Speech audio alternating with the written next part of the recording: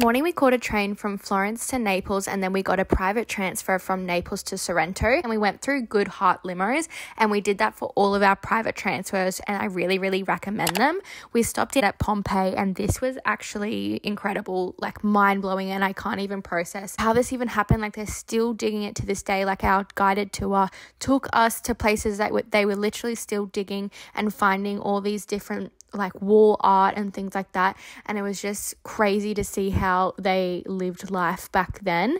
It was yeah really really interesting. And then we went back into the car and we headed straight to sorrento. And oh my god i can't even tell you when i saw the water i just felt immediately at home. After not seeing water for so long it was really refreshing just to see water. Especially living in australia i was just like oh this is just like a little reminder of home and it felt really nice. We spent the rest rest of the day exploring around Sorrento. We had the most beautiful Airbnb in a perfect location that I'll link for you guys down below.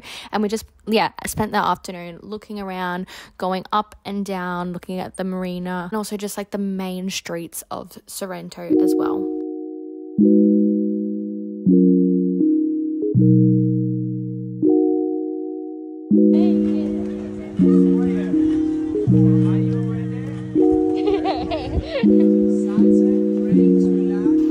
Ada mau dibuka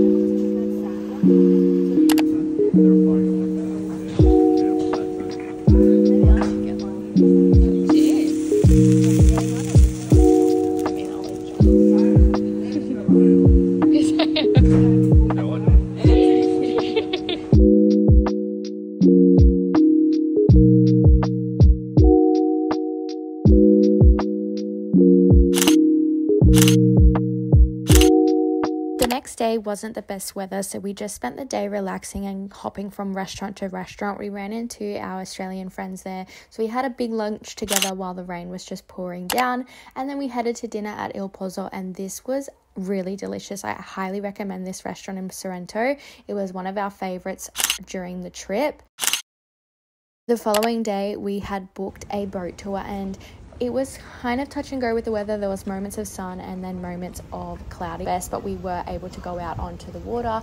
We booked this through Airbnb experiences and I will link that down for you guys below as well. Our driver was incredible. We had the best time. We got to swim. We went to all the grottos, red grotto, white grotto, blue grotto, and he took us through the Capri and then back to Sorrento.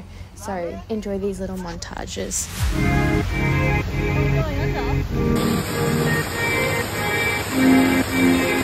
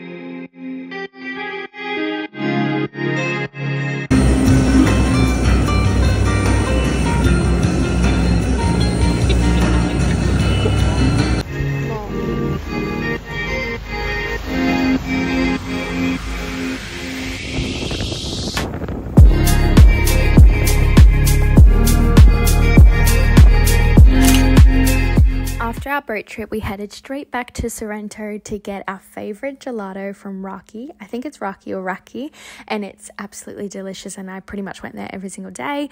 And then the following day, we went to Positano. So we got a private transfer again with Goodheart Limos to take us to Positano. It was just the fastest, quickest way for us to get there, and it ended up actually being cheaper between the six of us to divide than getting on the ferry. So we did it that way. We spent the day in Positano. It was great, and then we headed back home to Sorrento for a beautiful final dinner all together.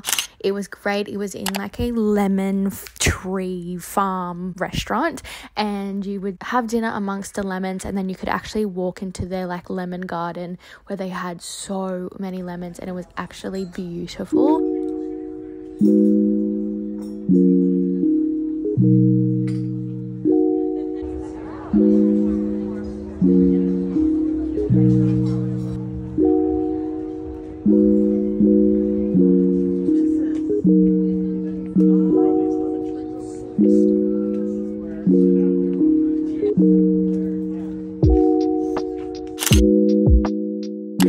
And then we woke up on our last day and we headed to Fiumicino because we decided to stay there a couple of nights before our flight back home. It's just closer to the airport and it was super, super convenient. So we had our final dinners there and then we headed back home.